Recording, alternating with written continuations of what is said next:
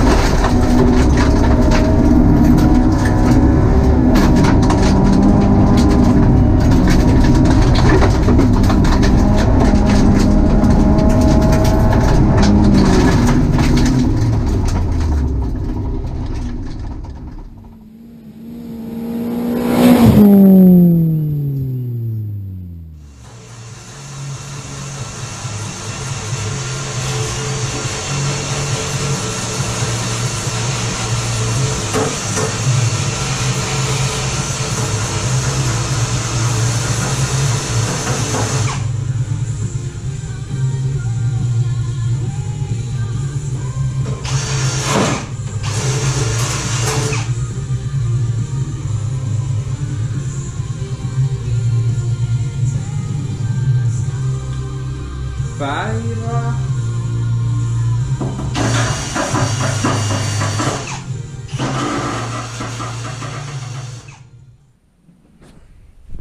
Kylläpä vain. Ei ole tässä keretty taas muutamaan päivään juuri mitään tekemään. Tämän näköinen se on. On, että tota, käytiin tuossa sunnuntaina käytiin vähän kyydistämässä taas porukkaa ja sitten käytiin testaamassa tota Junnu kisaa varten. Eli Kouvolassa sitten kuljetustuuriralli lauantaina, mihin pitäisi lähteä sitten tuolla Susukilla liikenteeseen, että siihen pitää tehdä vähän huoltoa. Vaihteen siirtäjän kanssa oli pieniä ongelmia, kun niin sanotusti tykkäs hämmentää sitä H-kaaviota vähän li- liikaa, kun on tottunut tuohon sekukeppiin, niin se meni semmonen muovi, muovi sitten poikki ja ei tahtonut mennä enää kakkonen eikä nelonen sitten päälle ollenkaan. Se täytyy, noin vaihteen siirteet täytyy vielä vaihtaa. Mutta tämä toinen auto tässä, niin, niin tämän kanssa nyt ollaan edetty kohtuu hitaasti, mutta niin kuin pikkuhiljaa rupeaa olemaan niin kuin saumat puhtaat ja kattopeltiä ruvetaan sitten irrottelee siitä, että sillä se varmaan niin kuin niin sanotusti on aloitettava se homma, että ottaa ton kattopellin tosta kokonaisena irti ja lähtee sitten sitä kautta jatkamaan. Nyt tää lauta tässä vähän niinku, on tälleen vähän niinku hollillaan tässä näin, että se siitä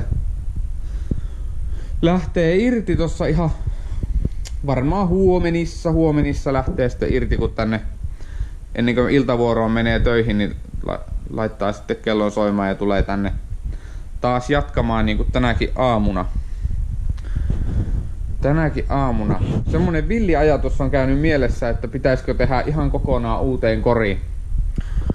Kokonaan uuteen koriin sitten tämmönen Citroeni FinR-sääntöjen mukainen, että toi Sadevin laatikko ja Possi-alustat ja Brempon jarrut ja kaikki tällaiset hän käy siihen suoraan siihen FinR-sääntöihin, mutta sitten pieniä muutoksia joutuisi tekemään joutuu sitten tekemään, että sen saa hyväksyttävästi siihen luokkaan. Ja tästäkin moottorista kuitenkin potentiaalia olisi semmoiseen 220 hevosvoimaa.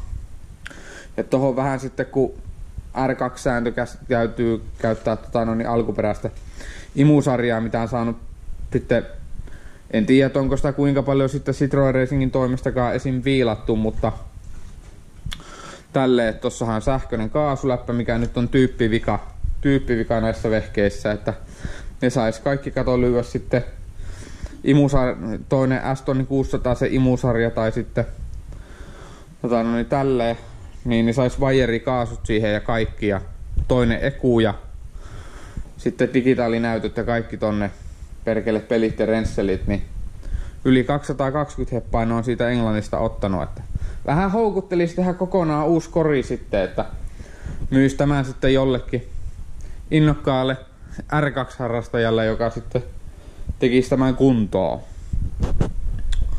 Mutta katsotaan mitä tässä niinku mielessä liikkuu ja jatketaan.